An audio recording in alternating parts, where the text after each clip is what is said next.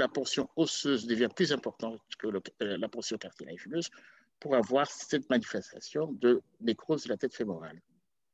Donc, quelques exemples hein, donc, euh, d'infarctus ou de sémélite.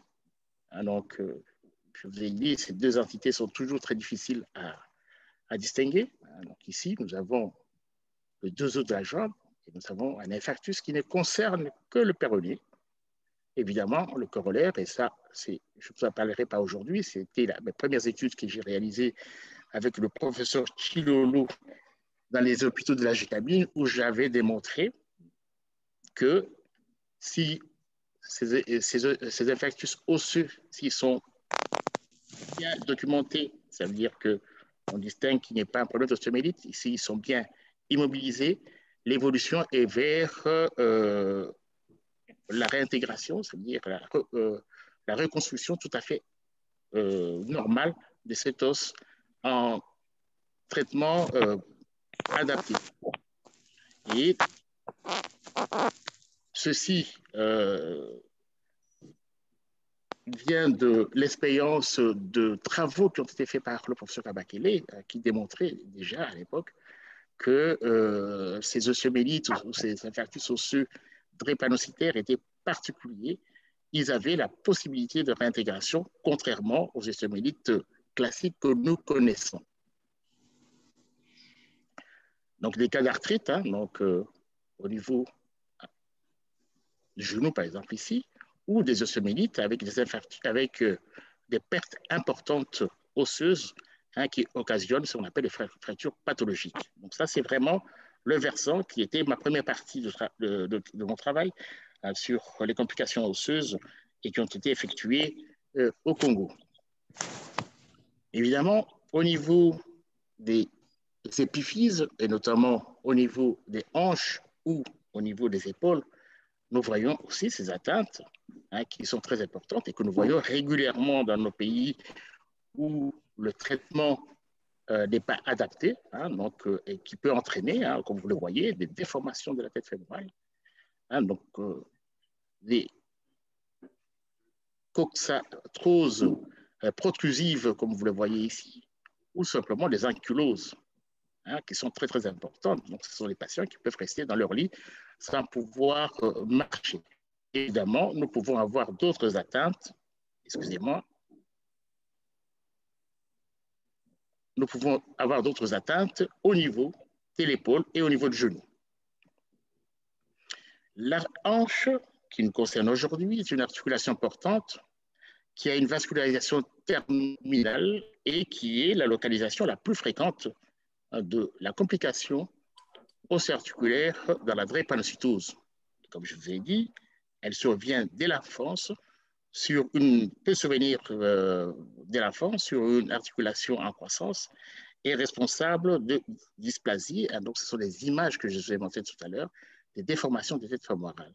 Par exemple, ici, donc, euh, une tête fémorale chez l'enfant et son traitement qui euh, évolue vers ce qu'on appelle des dysplasies, donc ça veut dire des déformations de cette tête fémorale. Et donc, c'est vraiment très, très important de pouvoir distinguer les complications au niveau des hanches dont nous parlons aujourd'hui chez l'enfant et chez l'adulte. Et aujourd'hui, on parlait effectivement de l'osonécrose chez l'adulte, le traitement actuel que nous aurons l'occasion de voir ici. Et donc, comme je l'ai dit tout à l'heure, voilà où je me retrouve actuellement, dans cet immense océan Atlantique, où euh, je suis à peu près, donc euh, je suis parce que maintenant, euh, je suis actuellement pratiquement en privé, et les patients que j'ai opérés viennent me voir en, privé, donc où je suis à peu près 600 patients drépanocytaires. Donc ça, c'est la, la, Guadeloupe avec ses 450 000 habitants. 12% de porteurs AS. Les AS ne sont pas malades. Hein, donc, je n'ai jamais eu l'occasion d'opérer quand euh, des patients AS au niveau des hanches. Hein, donc, il faut bien documenter vos patients. Quand vous avez un patient qui, est AS et qui a une nécrose tête fémorale, ça veut dire que son électrophorése de l'hémoglobine n'a été pas euh, bien réalisé. Il faut vraiment absolument bien préciser là-dessus. Donc, vous voyez, donc en 94, en 2008, j'avais 215 patients drépanocytaires adultes que je suivais. et qui est présenté donc à peu près 37% de cette complication. Quand les lésions sont traitées de façon précoce, les lésions de nécrose fémorale, nous pouvons avoir ce, qu'on appelle des évolutions tout à fait euh, favorables. C'est-à-dire qu'on peut empêcher cette hanche de pouvoir évoluer vers euh, des complications de type arthrose. Et les traitements conservateurs chirurgicaux que nous connaissons, effectivement, ici, les nouveaux traitements dans la, dans la nécrose, c'est le forage, Hein, qui est une décompression, le forage qui a été euh, bien étudié par notre professeur Kabakele à l'initiative du professeur Harley, hein, qui est un rhumatologue, hein, qui est euh, considéré comme le, vraiment le premier à pouvoir réaliser cette intervention. De nouveau, nous pouvons, quand nous faisons ce forage, nous pouvons associer une réinjection de moelle osseuse euh, à l'intérieur ou des greffes spongieuses. Évidemment, si nous allons un peu plus loin, c'est l'ostéotomie, mais ici, je vous parlerai simplement du traitement conservateur par forage simple ou associé à une injection, qui sont actuellement le traitement moderne de l'esthénécrose au stade précoce.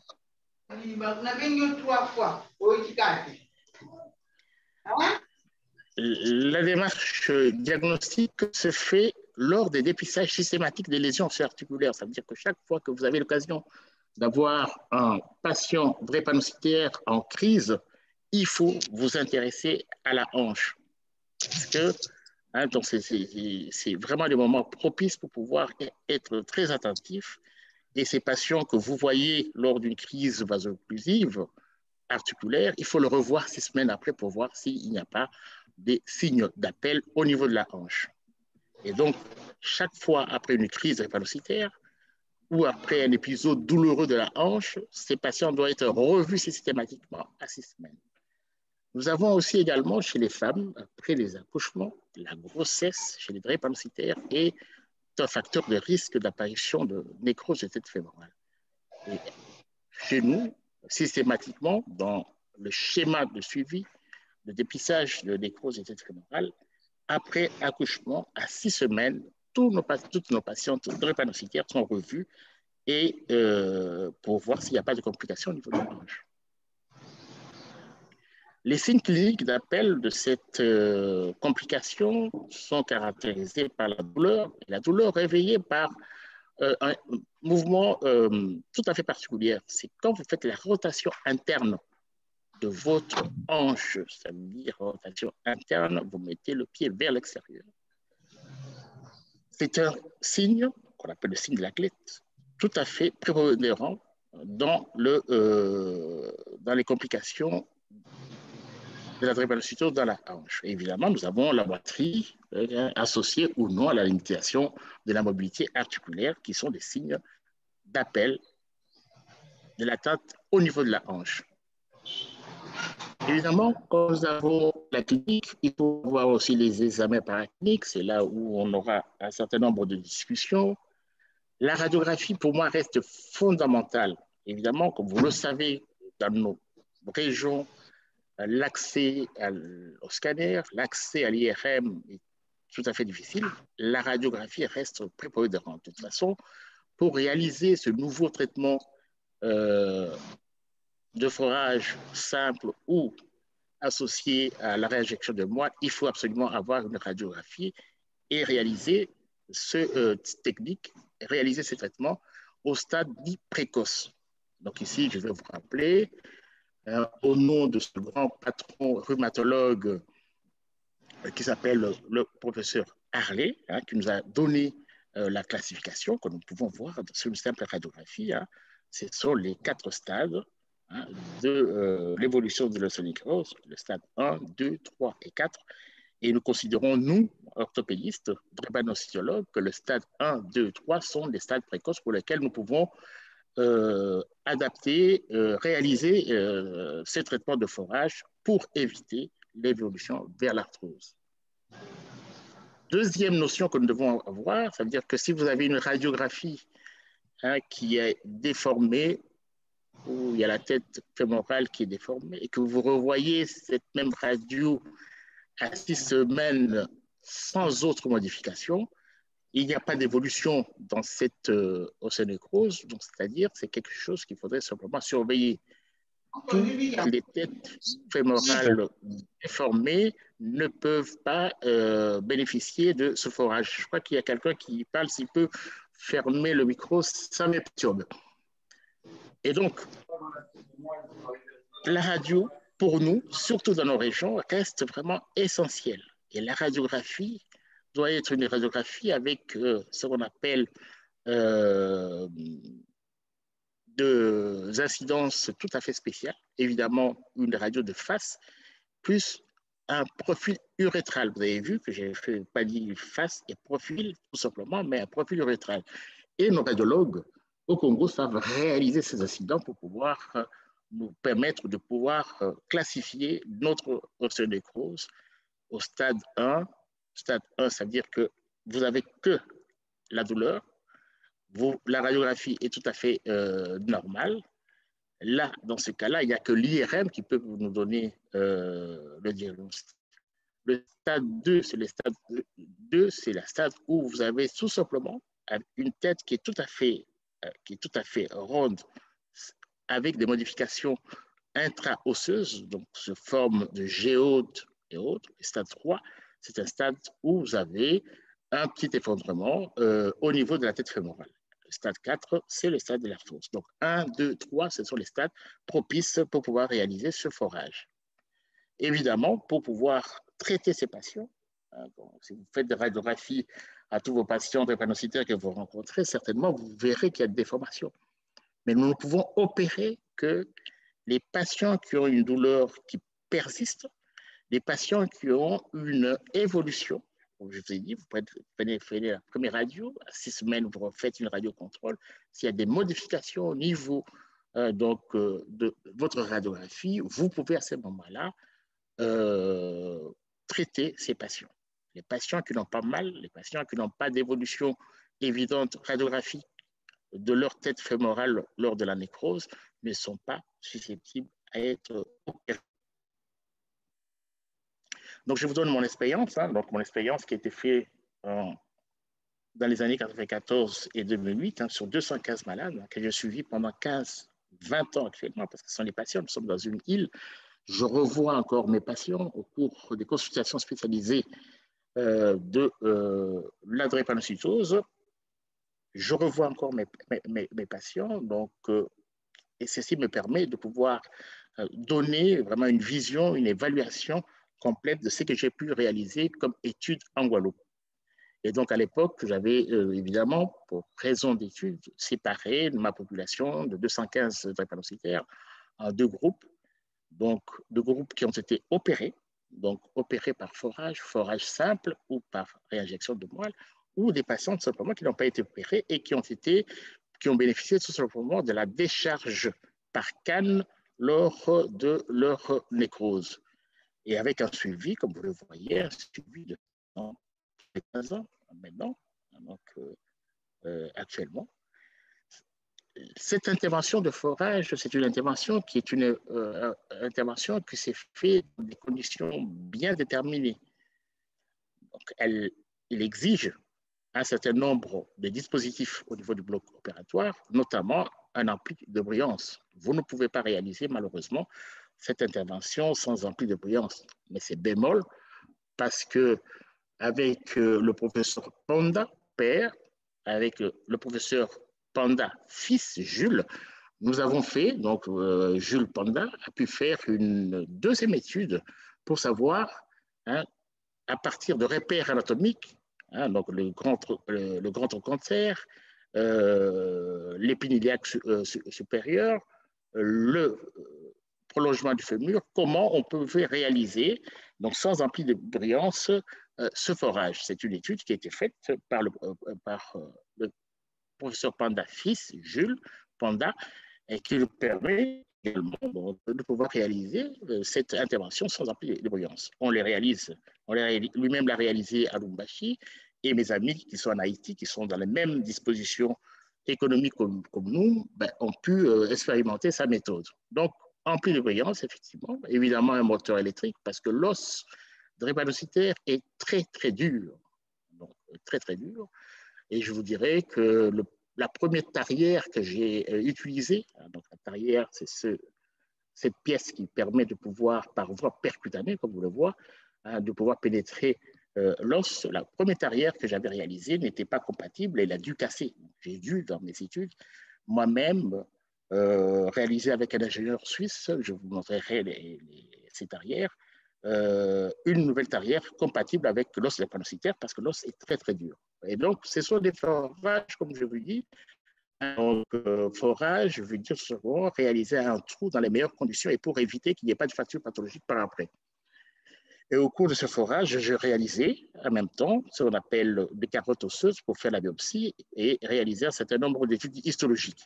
Donc voilà un petit peu, hein, donc sur le tableau opératoire, la tête est de ce côté-ci, la jambe, sur table orthopédique, il faut vraiment que vous ayez vraiment la possibilité de tourner votre ampli de brillance autour euh, de la hanche.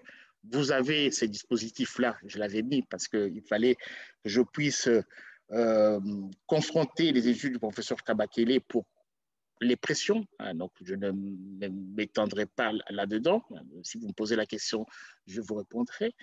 Et comme vous le voyez vous-même, donc sous ampli de brillance, on réalise cette arrière. Hein. donc, vous voyez la petite photo ici, donc la pénétration de ce trou.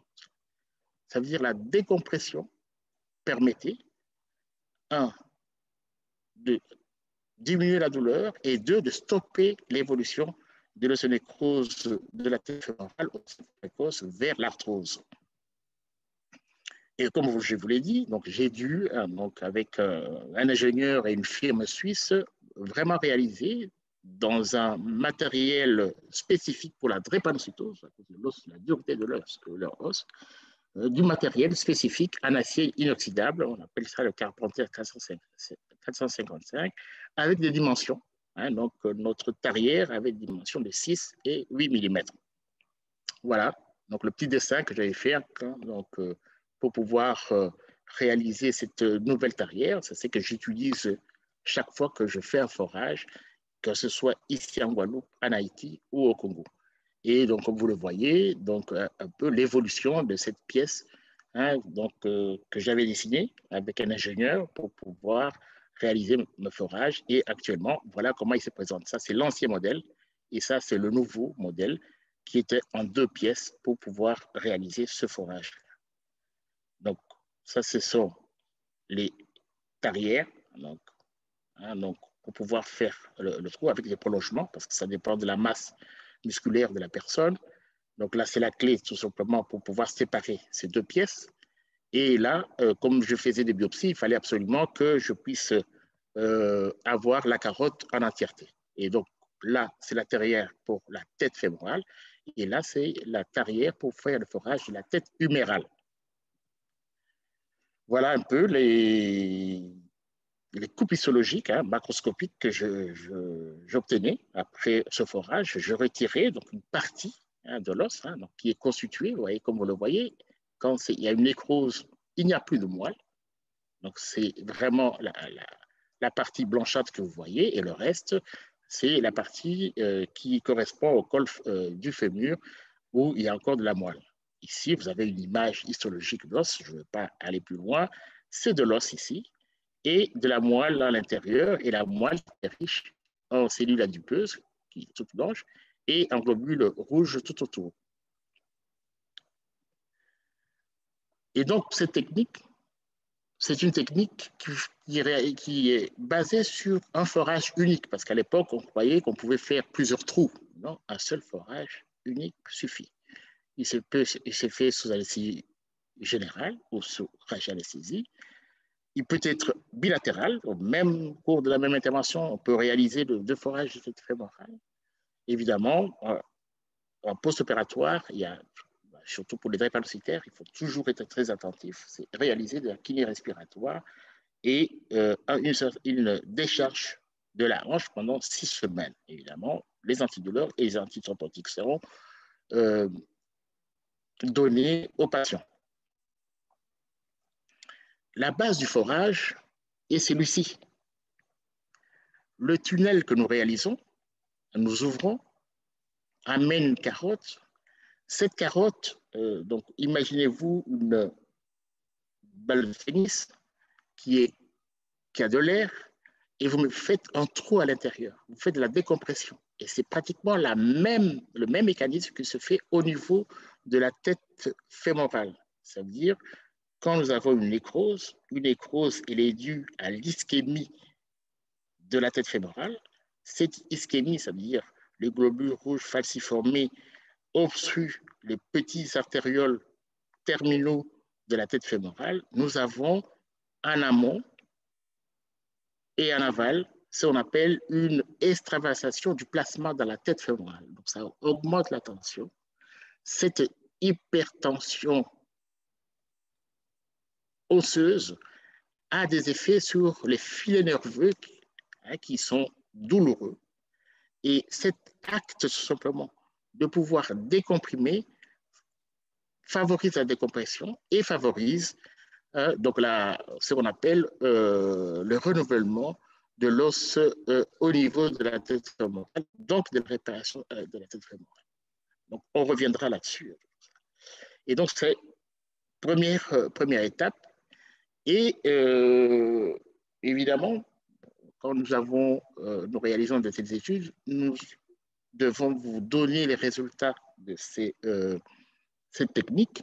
Hein, comme je vous avais dit, cette technique, c'était une comparaison de deux groupes. Premier groupe opéré par forage, deuxième groupe non opéré. Et on avait vu qu'il y avait euh, vraiment une différence tout à fait nette chez des patients opérés et non opérés. Évidemment, ceux qui n'ont pas été opérés, ben, il y avait une dégradation de leur tête fémorale vers l'arthrose assez rapidement. Et ceux qui étaient opérés, nous avions vu que ces patients avaient une évolution tout à fait favorable, hein, donc, dans à peu près 70% euh, des cas, avec une stabilisation de leur euh, euh, lésion de nécrose sans aller vers l'arthrose. Évidemment, avec une satisfaction en faveur du patient opéré qui était très, très important et sans de décès ni de problème d'abcès ou de fracture pathologique après cette intervention. Donc, c'est une opération, si vous la faites dans les conditions dont j'ai décrit, qui est tout à fait simple chez des patients euh, fragiles. Quelques exemples hein, donc, euh, d'évolution. Hein, donc, ici, hein, donc, euh, par exemple, ces patients qui bénéficiaient de la décharge, c'était le premier groupe, comme je vous avais dit. On n'a rien fait. On n'a pas fait de forage de la tête Évidemment, comme vous le voyez, l'évolution est vers la formation, hein, donc euh, l'arthrose de la tête fémorale. Le deuxième groupe où nous avons réalisé ces forages, hein, ce forage, vous le voyez, hein, vous voyez la trace, ça c'est la nécrose qui est établie là-dessus. C'est une coupe IRM qui nous montre vraiment qu'en réalisant cette, euh, ce forage cette patiente-là, qui venait même d'une autre, autre région pour se faire opérer chez nous en Guadeloupe, avec, vous voyez, hein, donc, euh, nécrose opérée avec des évolutions hein, tout, à fait, euh, tout à fait bénéfiques chez ces patients adultes. Donc, pratiquement, très rapidement, en six mois, nous avions vraiment euh, des résultats tout à fait favorables. Deuxième exemple, hein, des nécroses qui étaient opérées, comme vous le voyez là, même c'est au stade 3 et autres tout ça, forage, on a réalisé, et vous voyez euh, une euh, évolution tout à fait favorable avec une tête fémorale qui est tout à fait euh, sauvegardée. Évidemment, quand vous allez à des stades qui sont plus compliqués, on a eu des échecs, on n'a pas eu que de, succès. Donc, quand vous vous retrouvez avec des têtes fémorales qui sont déjà déformées, évidemment, les évolutions, ici, nous avions fait les forages deux côtés. dans ce cas-là, l'évolution, dans ce cas, euh, si cette évolution a été tout à fait défavorable, le patient a dû avoir une prothèse par après. Vous voyez un peu l'évolution des nécroses. Donc, nous avons des échecs quand nous réalisons euh, le forage à des stades avancés, stade 3 avancé. Nous avons une deuxième méthode, hein, donc euh, actuellement, qui est associée à la réinjection de moelle qui est associé au forage, et c'est la réinjection de moelle osseuse. C'est-à-dire, dans le tunnel que nous réalisons pour pouvoir renforcer, pour pouvoir apporter des cellules osseuses, cellules osseuses qui se trouvent dans la moelle. Nous allons dans la crête iliaque du patient, prendre de la moelle, comme on vous montre ici, et venir le réinjecter dans le trou que nous avons réalisé. Et donc, ça, actuellement, c'est ce que nous réalisons assez régulièrement. Mais je vous l'ai dit tout de suite, euh, nous avons euh, deux grandes écoles en France, de façon générale, hein, qui réalisent ce forage. Nous avions euh, l'hôpital Mondor à Paris et nous en, Guadeloupe. Et à l'époque, avec le professeur Ernigou, je lui avais dit que ben, ce serait peut-être difficile de réaliser la réinjection de moelle. Moi, je voulais expérimenter tout simplement le forage simple. Donc, c'est ainsi que nous avions deux écoles. L'école en France, à Mondor, où on faisait le trou, on prenait de la moelle, on réinjectait, et moi qui faisais tout simplement le forage simple. Et figurez-vous, nous avons pratiquement les mêmes résultats. Donc, nous pouvons appliquer ce nouveau traitement euh, de type forage avec ou sans réinjection de moelle. Donc, les exemples, forage simple, comme vous le voyez, par voie percutanée, ici, ou forage après réinjection de moelle. On peut également le réaliser au niveau des têtes humérales également. La méthode reste la même, le principe reste le même, comme je vous ai montré dans les matériels euh, médicaux, c'est que, un, il faut toujours évidemment avoir une une scopie hein, pour pouvoir bien réaliser, pour bien réaliser la, la, technique. Il ne faut pas aller sur le côté. Il ne faut pas que la facture, euh, qu'on ait de problèmes de facture pathologique après, après forage. Donc, la méthode que j'ai pu appliquer au niveau de la tête euh, prémorale peut s'appliquer au niveau de la tête humérale. Donc, donc c'est l'exemple pour cette femme qui avait des nécroses précoce au niveau de tête humérale, qui ne savait pas du tout mouvoir ses épaules. Et là, vous voyez l'évolution, une bonne évolution entre les deux, et l'évolution clinique tout à fait favorable, avec des mobilités presque totales. Et ce sont des patients que je revois jusqu'à aujourd'hui, ça veut dire 20 ans après, on n'a pas pu réaliser autre chose. Ce forage, euh, les, les, résultats de ce forage ont été maintenus jusqu'à ce jour. Qu'est-ce que nous pouvons conclure? Évidemment, la prothèse de hanche, parce que c'est ça le problème, la hantise que nous avions, nous les orthopédistes, dès que nous avons une nécrose de la tête fémorale, il faut mettre une prothèse. Nous, avec nos études que nous avons réalisées ici en Guadeloupe, nous avons mis au point ces nouveaux traitements, mais qui nécessitent de pouvoir diagnostiquer de façon précoce cette océanécrose pour permettre ce type de forage, qui donne vraiment le lendemain, quand nous réalisons cette intervention, qui donne une sédation complète, c'est-à-dire une diminution de la douleur le lendemain de l'intervention, et évidemment qui arrête le processus ischémique dû à la drépanocytose et empêcher la hanche malade évoluer vers l'arthrose. Les drépanocytaires sont des patients qui sont très fragiles, hein, qui sont susceptibles aux infections. Cette méthode, cette technique actuelle de forage a été, comme vous l'avez vu, sans problème d'infection. Je crois que c'est une méthode qu'il faut euh, développer et réaliser chez nos patients euh, drépanocytaires. Évidemment, euh, ces traitements nécessitent que le dépistage soit fait de façon précoce et donc la nécessité que nous réalisons, en fait, que nous ayons, hein, que nous euh, développions, comme on le fait actuellement euh, au Congo, des centres dédiés à la drépanocytose. Donc, nous avons les centres non collés où je vais régulièrement, j'irai régulièrement là-bas, ou les autres centres de Kalembelembe qui sont dédiés à la drépanocytose pour nous permettre de diagnostiquer de façon précoce les complications au niveau des os.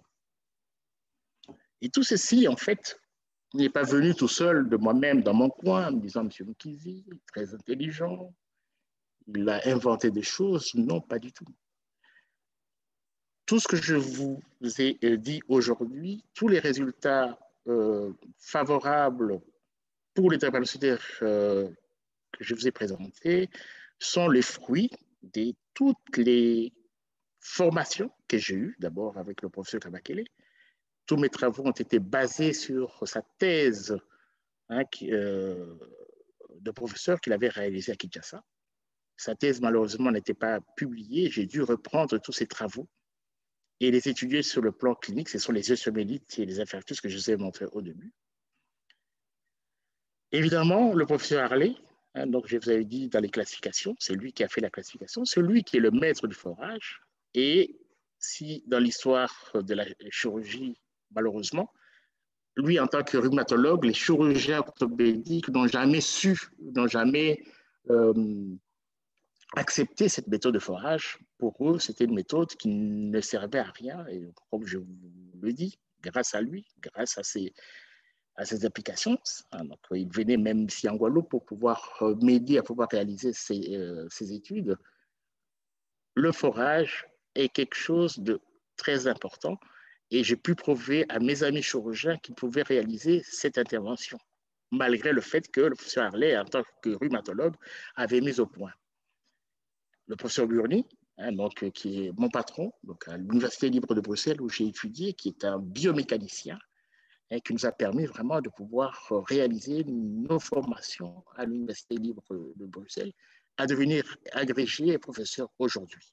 Évidemment, le professeur Panda, j'ai eu l'occasion de vous parler, professeur Panda, Panda euh, père, Panda fils, qui eux aussi ont fait évidemment des travaux sur la nécrose des fémorale, et notamment son fils qui a pu démontrer qu'en connaissant bien l'anatomie, nous pouvons réaliser ce forage sans implicateurs de, de bruyance. Le professeur Renigou, qui est mon ami, qui était à la retraite, et également, et c'est lui qui a mis au point ce qu'on appelle les réinjections de moelle osseuse. Et nous avons nos ingénieurs. Et je termine par cette photo. Ce sont ces deux scientifiques, un qui était pédiatre, le professeur euh, Berchel, l'autre qui était biologiste, qui ont créé le centre, le premier centre de la drépanocytose en France, qui m'a permis de venir ici et de réaliser les études que je vous ai, euh, dont je vous ai parlé aujourd'hui. Je vous remercie de votre attention. Et si vous avez des questions, je suis là pour pouvoir vous éclaircir des zones d'ombre qui sont restées dans la conférence.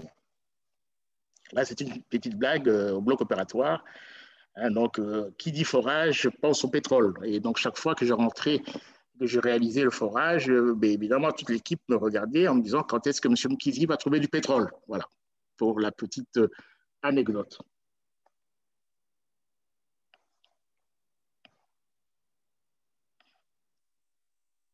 Avez-vous des questions?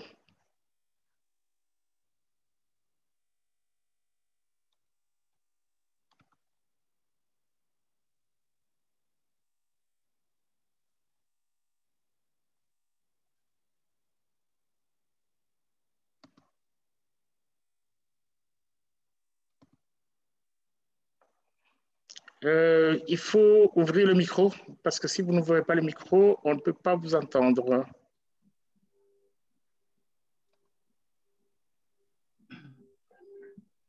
Euh, bonjour, professeur. Bonjour. Oui, euh, je voulais demander, parce que là, vous avez parlé au début, là, que certaines, certaines études, vous n'avez pas pu réaliser ça chez nous au Congo parce qu'il n'y avait pas de patients adultes. Qu'est-ce qui fait que chez nous, euh, les patients n'arrivaient pas à atteindre l'âge adulte? C'était dû à quoi? Une mauvaise prise en charge ou bien c'est quel phénomène? Oui, alors, euh, il y avait le deux. En fait, euh, vous savez très, très bien que nos patients drépanocytaires qui sont SS euh, vis-à-vis de la malaria sont très susceptibles tout ça. Donc, ce sont des patients, même déjà à l'époque, quand vous, aviez un enfant drépanocytaire, on vous disait que votre enfant n'allait pas atteindre l'âge de 5 ans. Donc, il y avait d'abord tous ces problèmes infections parasitaires, hein, donc qui étaient vraiment tout à fait qui, qui, entraînait des décès importants chez les, chez les Deuxième chose, c'était la prise en charge. Vous savez très très bien que euh, quand une famille a une, un enfant drépanocytaire, c'est un, un drame, un drame très très important et nous le vivons partout où nous sommes passés en Afrique, que ce soit en Afrique de l'Ouest ou en Afrique centrale et tout ça, où les enfants parfois drépanocytaires étaient j'étais laissé à la rue donc, parce que ben, il n'avait pas de moyens. Donc, nous n'avions pas, à l'époque, des patients qui arrivaient à l'âge adulte, donc je ne pouvais pas donc, il y avait certains patients, hein, donc euh, c'était à la GCAMI où j'avais fait, GCAMI où j'avais fait des études, nous avions quelques enfants qui étaient adultes, qui, étaient, qui arrivaient à l'âge adulte, tout simplement parce que la GCAMI, ils mangeaient bien, ils pouvaient avoir des ressources euh, alimentaires importantes et tout ça. Mais c'était les deux. Donc, euh, la mauvaise prise en charge et puis, évidemment, la, la malaria par rapport à nous, qui sommes ici en Guadeloupe où nous n'avons pas de problème de malaria avec une bonne prise en charge euh, complète. Nous avons des patients qui sont arrivés jusqu'à l'âge de 100 ans. Donc, j'ai pu opérer un patient d'un à l'âge de 100 ans. OK. Et, et maintenant, actuellement, on peut trouver quelqu'un dans les cinquantaines, un drépanocytaire au Congo qui atteint l'âge de 50 ans? Oui, tout à fait. Tout en sachant que nous avons dans les deux groupes, hein, nous avons les SS et les SC, et surtout dans, les SS et les SC, nous avons maintenant des patients qui sont adultes et qui sont même qui sont arrivés même à être médecins. Donc actuellement, avec la, quelques centres, quelques bonnes prises en charge euh, dans certains centres au Congo, nous arrivons à avoir des patients adultes. Ok. Et opérer, je m'excuse, jusqu'à quel âge on peut encore opérer un patient? Il y a l'âge déterminé et dire que voilà, non, à partir de tel âge, on ne peut plus opérer, on ne peut plus faire le forage, ou bien ça dépend, c'est l'état général du patient pour euh, intervenir. Euh, donc, euh, normalement, comme je vous ai dit, les chez l'enfant, nous, pouvons avoir des nécroses, mais l'enfant, chez l'enfant, c'est plutôt vraiment jusqu'à l'âge de 14-15 euh, ans, c'est plutôt on favorise ce qu'on appelle des traitements orthopédiques. Tandis que chez l'adulte, mm-hmm. après, après, dès que nous avons le cartilage de euh, conjugaison qui est fermé, nous pouvons réaliser ce forage à partir de ce moment-là. Donc, il y a évidemment l'état général également du patient. Si l'état général ne convient pas, on ne peut pas le faire. Donc, c'est vraiment à partir de 16 ans, quand le cartilage, parce qu'il ne faut pas abîmer le cartilage de conjugaison au niveau de, la tête fémorale, dès qu'il disparaît, nous, avons, nous pouvons réaliser cette intervention. Merci, merci beaucoup. Très bien.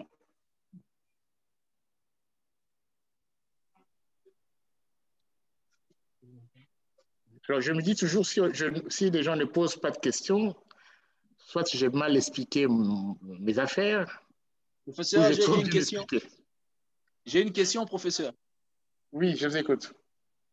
OK. Professeur, euh, entendu que euh, l'ostéomyélite fait partie des complications de la drépanocytose. Euh, en cas de comorbidité, la prise en charge euh, chirurgicale resterait le même? Alors, qu'est-ce que vous appelez comorbidité? Ça veut dire que si vous avez, alors, si vous avez une association d'une ostéomyélite et d'une nécrose, c'est ça? Oui, ouais, c'est ça.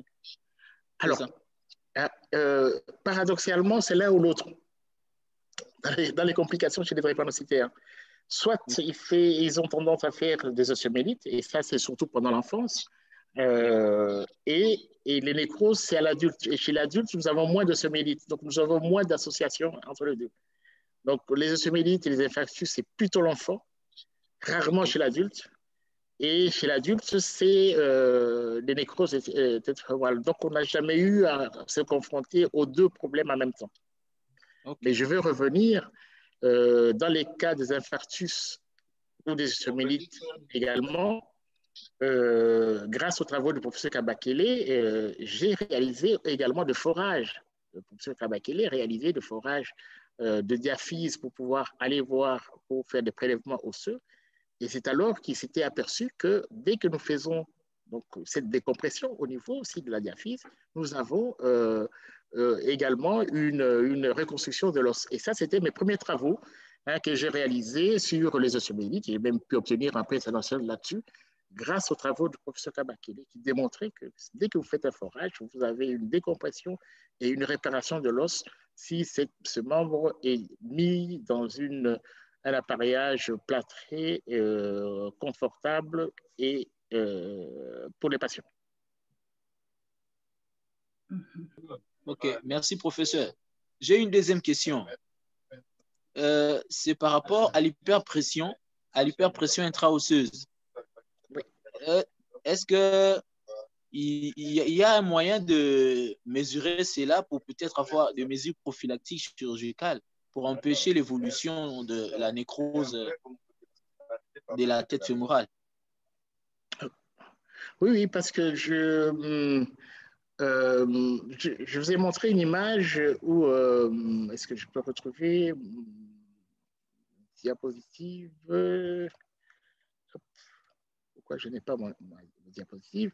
Euh, J'avais, quand vous, j'ai montré une photo de, de, forage où vous aviez une deuxième sonde que je mettais au niveau de la région trocantérienne pour mesurer euh, la, pression, la pression avant et la pression après. Donc, nous avons donc, euh, cette possibilité-là. Et même à l'époque, euh, j'avais même suggéré, comme nous n'avons pas d'IRM, de réaliser s'il y a une, il y a, il y a, il y a un patient qui a une douleur au niveau de la tête fémorale et avec une radiographie qui ne montre pas des lésions, donc ça veut dire une radio tout à fait normale, de réaliser les pressions pour le diagnostic. À l'absence de l'IRM, donc cette hyperpression pouvait nous donner le diagnostic. Voilà. Euh, professeur, une troisième question, c'est euh, par rapport euh, à la scintigraphie. La scintigraphie aurait-il une place pour le diagnostic aussi? Alors, il faut que euh, la scintigraphie reste aussi euh, un, examen, donc à l'absence de l'IRM, c'est vraiment la scintigraphie peut nous donner des diagnostics de façon précoce. Mais le problème chez les drépanocytaires, il faudrait euh, bien interpréter parce que les drépanocytaires adultes ont une activité hématopoïétique très importante au niveau des épiphyses qui font que quand vous faites la scintigraphie, vous avez des hyperfixations qui sont déjà d'emblée sur ces images, alors que ce sont des choses que vous ne voyez pas chez, les chez le non-drépanocytaires. Évidemment, par une astuce de comparaison, hein, c'est un peu l'interprétation qui est difficile, par une étude de comparaison, ça, ce sont vraiment les, les, gens qui font la scintigraphie, ils peuvent, éventuellement vous dire, ben, écoutez, vous avez un début de nécrose effectivement, la scintigraphie reste un examen tout à fait euh, important dans le diagnostic précoce de la nécrose.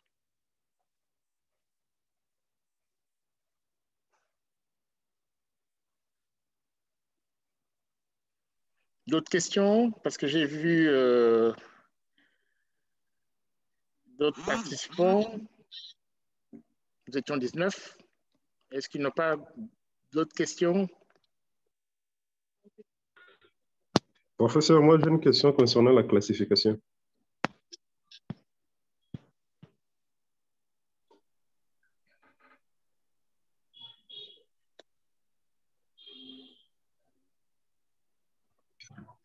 Il ne vous a pas saisi, vous pouvez reprendre, répéter. Hein. Le prof n'a pas saisi. Professeur, une question concernant la classification de Harley.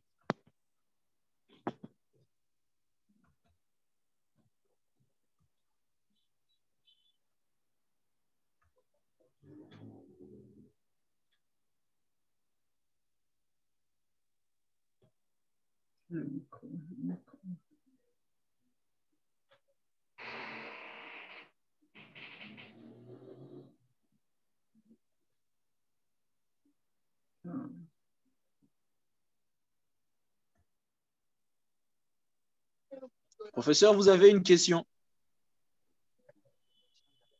Professeur, vous avez une question par rapport à la classification. Mais son micro, le micro n'est plus euh, connecté. Le micro du professeur? Oui, oui, oui. Oui, oui, il y a quelqu'un qui a fermé. Oui, ça va maintenant. Maintenant, ça va. ça va maintenant. Ok, très bien. Non, non, je disais, euh, la classification d'Harley, qui est modifiée actuellement hein, par la présence de l'IRM et du scanner, elle reste tout à fait fondamentale actuellement et nous permet dans nos pays de pouvoir bien euh, euh, localiser les lésions de la nécrose. Trois éléments qui doivent être regardés au niveau de la radio, c'est la spéricité de la tête, la trame osseuse et troisième chose, la congruence. Ça veut dire au stade 1, un patient drépanocytaire qui a une, douleur au niveau de la hanche, pour laquelle la radio de face et de profil urétral ne montrent pas de modification, ni de la trame, ni de la sphéricité, ni de la congruence, c'est un stade 1. Là, il n'y a que l'IRM ou la scintigraphie qui peut donner le diagnostic. Le stade 2, c'est là le stade où nous avons tout simplement des modifications au niveau de la trame osseuse. La congruence est tout à fait normale, la sphéricité de la tête fémorale est tout à fait normale, et on voit au niveau de la trame osseuse soit des décalcifications, soit des géodes ou des scléroses au niveau de la trame osseuse.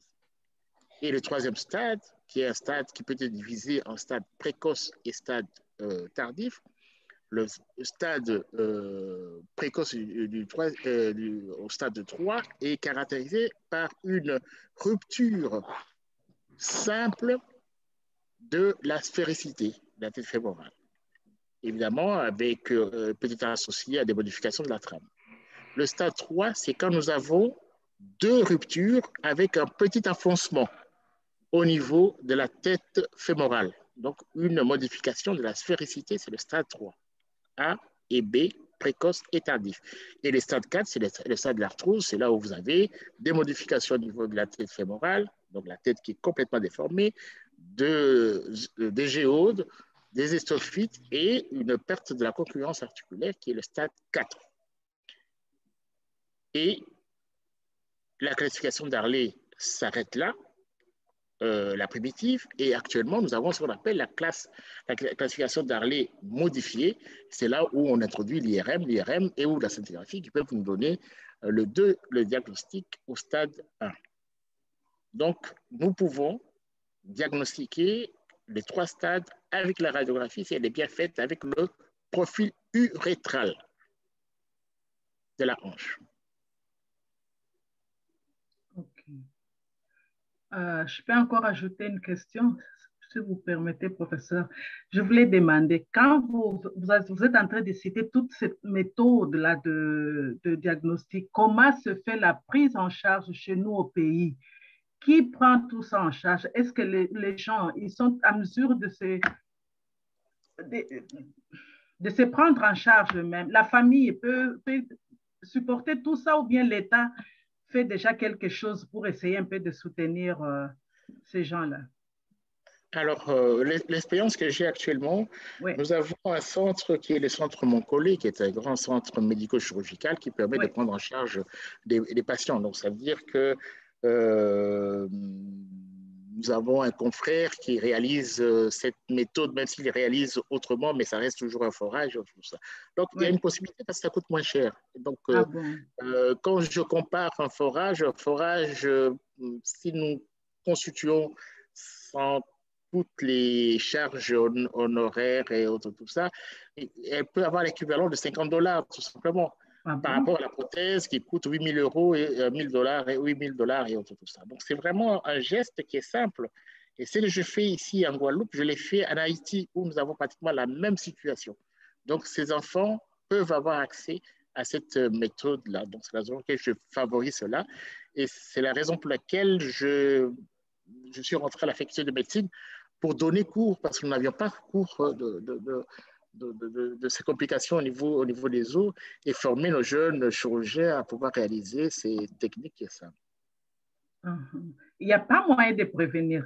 Moi, je sais qu'il y a moyen de prévenir toute euh, cette maladie, mais qu'est-ce qu'on fait pour diminuer euh, par rapport à, l'époque quand nous, on était, était encore euh, euh, à l'école, qu'est-ce qui s'est fait pour le moment pour prévenir qu'il n'y ait plus euh, beaucoup de patients qui souffrent de la drépanocytose Qu'est-ce qu'on fait?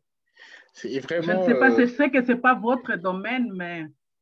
chère dame, c'est euh, une grande question. C'est ce qu'on appelle une question de santé publique, où nous avons la prévention primaire, secondaire, tertiaire. Oui, oui. oui. Euh, la prévention euh, primaire, nous ne pouvons pas le faire. On ne peut pas tuer sur nos drépanots. Non. Ce serait la prévention primaire. La prévention secondaire et tertiaire, ça, nous pouvons le réaliser. Ce sont les créations de centres que nous avons. Je vais vous donner juste l'exemple de la Guadeloupe.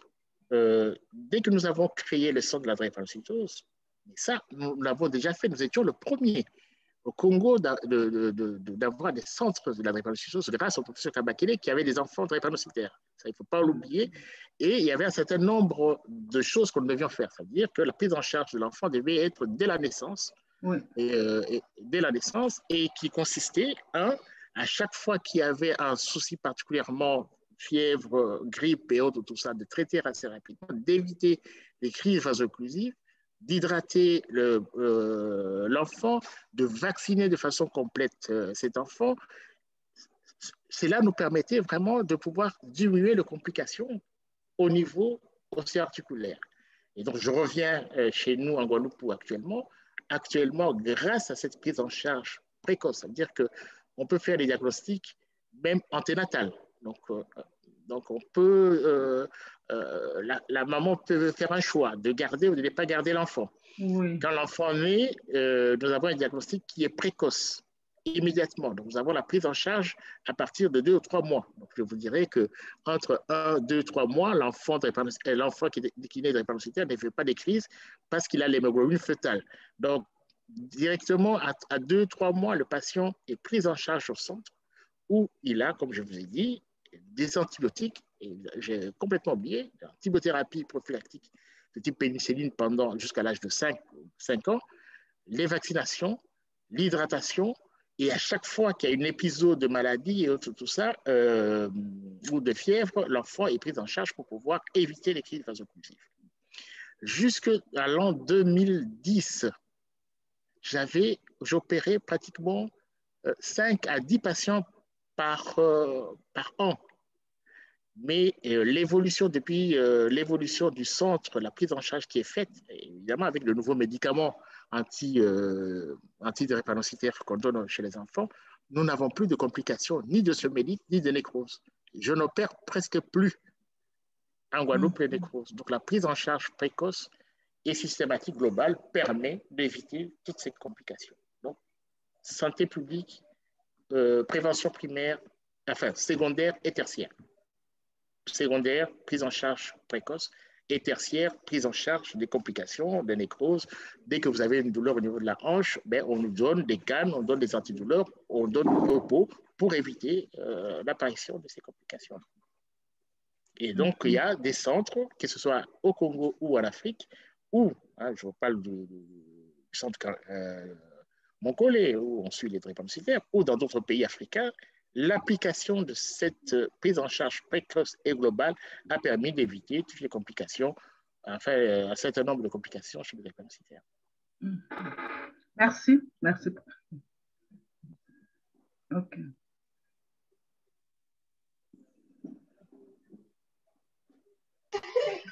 Euh, professeur, euh, une, autre question, c'est que euh, j'aimerais savoir, Parmi les patients que vous avez suivis, que ce soit ici au Congo et même là-bas au Guadeloupe, y a-t-il des patients qui ont eu aussi d'autres hémopathies, euh, d'autres érythropathies en, sus de la drépanocytose, telle la thalassémie par exemple? Alors, euh, en fait, nous avons trois grands groupes. Hein. donc, euh, de toute façon, les grands, trois grands groupes génétiques de drépanocytaires que nous connaissons, ce sont les homozygotes SS, le double hétérozygote DC et, et euh, plutôt euh, ou euh, S-bétatal, Mais ils sont très peu nombreux. Hein, donc, mm. ils sont, très, très peu nombreux. Même en Guadeloupe, je crois qu'il n'y a même pas de bétatal, euh, plutôt au Congo. Hein, donc, c'est vraiment un génotype. Nous avons plus de SS et de, des SC. Mm-hmm. Et on le sait que les SC, par exemple, font plus de nécrose fémorale que les SS, mais enfin, ce sont des, trucs. Euh, mais je crois que maintenant, peut-être si nous faisons des études, comme on a autant de SS et DC, donc probablement, ils, font les mêmes complications dans la même, avec la même valeur euh, statistique.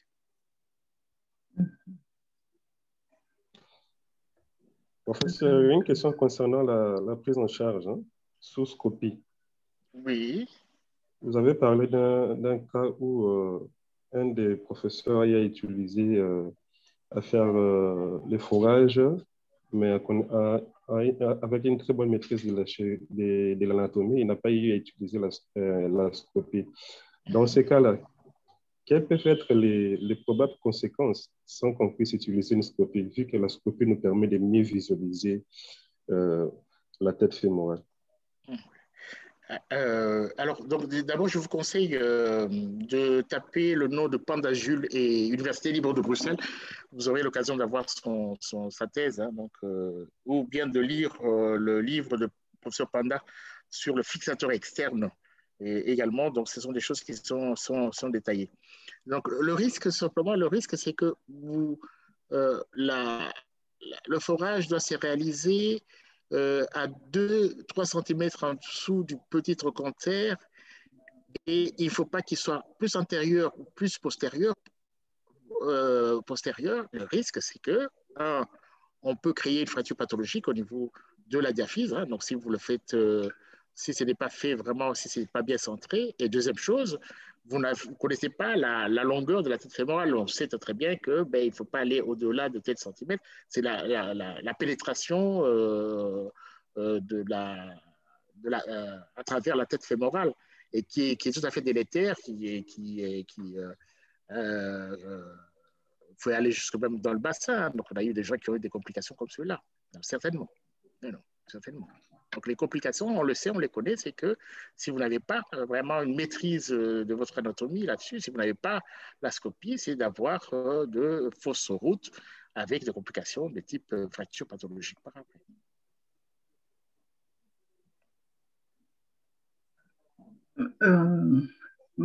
J'ai encore une question, si vous, vous permettez.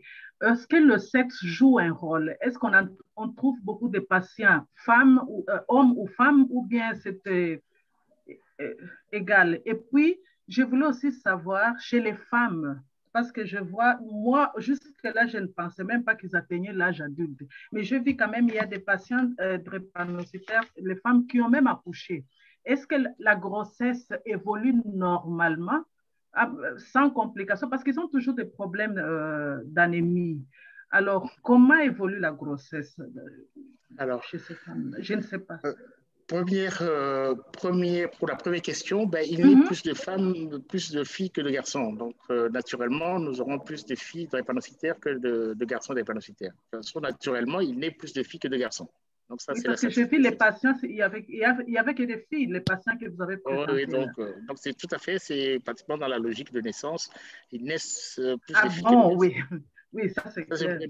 Deuxième question, c'est que la, la, grossesse reste une période de risque pour les, pour, euh, les parturiantes. Mm-hmm. Mais l'expérience que j'ai eue ici avec mes collègues, étant dans un centre, de suivre, de côtoyer les, les femmes enceintes, c'est la période où elles deviennent mamans et c'est une période parfois où les crises s'arrêtent.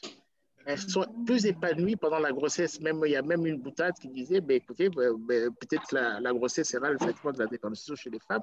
Et tout ça, c'est une période où elles le vivent parfois très, très bien. on a toujours des patients qui sont des SS, qui ont des facteurs. Et ça, c'est vraiment le problème de la dépendance. C'est qu'il y a des patients qui sont très, très malades, pour lesquels, pour lesquels on ne sait pas pourquoi. Et hmm. d'autres qui n'ont absolument rien. Évidemment, ce sont des grossesses à haut risque qui doivent être bien suivies, suivies par euh, un, gynéco et au cours de l'accouchement, d'avoir d'être tout à fait attentif à, des problèmes euh, euh, d'anémie aiguë et tout ça qui peut être fatal chez les okay. C'est clair. Merci.